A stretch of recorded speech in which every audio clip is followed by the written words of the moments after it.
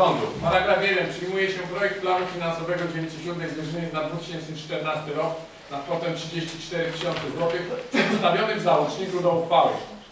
Załącznik macie Państwo rozpisany. Pytania i uwagi do projektu uchwały. Proszę Pan Krzysztof Spaczak. Mam takie pytanie, wynagrodzenia bezosobowe 15 600, bo jak tak porównywałem projekty uchwał w innych dzielnicach dotyczących planu finansowego, to tutaj tej pozycji albo tam nie ma, albo wynosi parę tysięcy, 2-3 tysiące. O informację, kto jest na umowach yy, To jest, to jest? Szanowni Państwo, zatrudnienie dla Pani Teresy i dla Pani sprzątającej Pani Heleny. A czy ktoś jest w ramach planu finansowego, bo wiem, że w zadań kredytowych to są inne osoby, ale czy w ramach planu finansowego są jakieś inne Nie, osoby nie. zatrudnione? To są te dwie osoby. Jak Państwo porównacie do zeszłego roku, podnieśliśmy o 600 zł tylko to zadanie. Wynikło to tylko z takiej no, zwykłej czystej matematyki. Yy, yy, Przywróciliśmy jakby troszeczkę wyższe te kwoty, bo obniżaliśmy bardzo restrykcyjnie na tamten rok.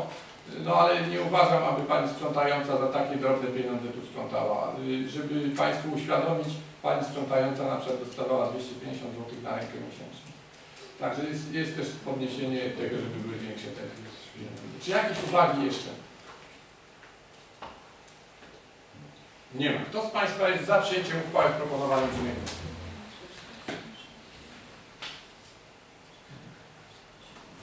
Kto jest przeciw? Kto się wstrzymał? Dziękuję. Stwierdzam, że uchwała została przyjęta.